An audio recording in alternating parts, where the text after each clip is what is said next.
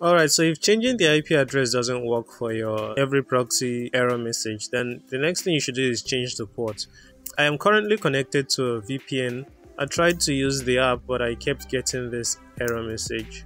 Failed to start HT proxy port 1080 not available. So what you want to do is just change the port number. And then for me, I use um port 8080. I think you can also try just 80 so just change it to port 80 and tap OK. I'm currently connected to a VPN network, so I want to share that network with um, my computer or any Android device I want. So once you change the port number, just tap the and it should be done. So I don't know if I said this already, but uh, if you if 8080 doesn't work for you, you can try 80. There's also 443, and um, I think those are the only ones that I can recommend for now.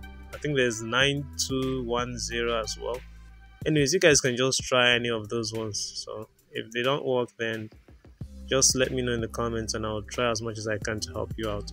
Alright, so I hope this video has been able to help you. Please do give it a thumbs up and subscribe if you haven't yet. I'll be seeing you on the next video. Alright, stay awesome.